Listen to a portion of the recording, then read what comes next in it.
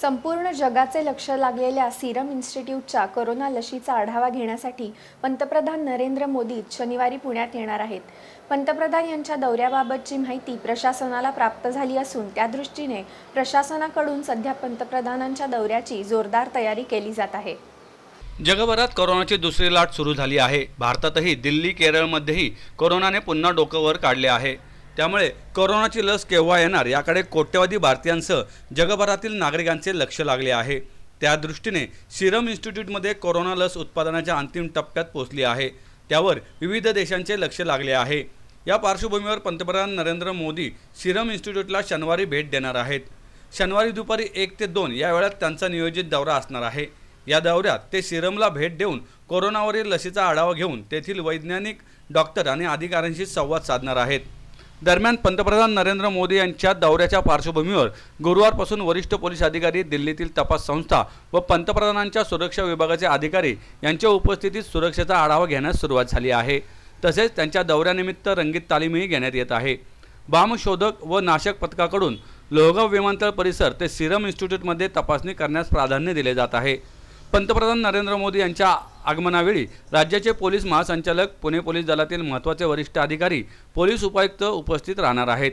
पोलिसांकडून पंतप्रधानांच्या सुरक्षिततेकडे प्राधान्याने लक्ष देण्यात येणार आहे. पंतप्रधान नरेंद्र मोदी हे लोहगाव विमानतळ येथे विशेष विमानाने येतील. त्यानंतर ते तेथून हेलिकॉप्टरद्वारे सिरम इन्स्टिट्यूटला भेट देतील. त्यानंतर ते पुन्हा हेलिकॉप्टरने विमानतळ येथे पोहोचून विमानाने दिल्लीला परत जाणार आहेत. याचबरोबर पंतप्रधान मोदी यांना वाहनाद्वारे सिरम इन्स्टिट्यूटला जायचे असल्यास त्या दृष्टीने पर्यायी मार्ग आखण्यात आला आहे. माननीय पंतप्रधान महोदय यांचा दौरा आता कन्फर्म झालेला आहे. अठ्ठावीस तारखेला माननीय पंतप्रधान महोदय यांचा आगमन. आणि टेक्निकल एअरपोर्टला लँडिंग झाल्यानंतर चॉपरनेच टेक्निकल एअरपोर्टवरून सिरम इन्स्टिट्यूट इथला प्रवास नियोजित आहे.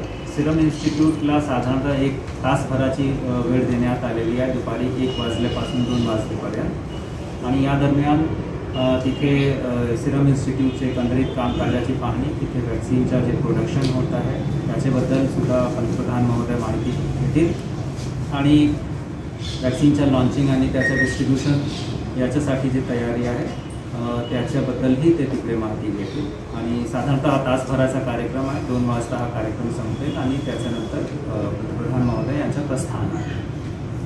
जे सध्या नियोजित लँडिंग आहे ते साधारणतः साडेबारा वाजता आहे. आणि त्याच्यानंतर पुन्हा तिथून हेलिकॉप्टरने सिरम इन्स्टिट्यूट पर्यंतचा प्रवास आहे.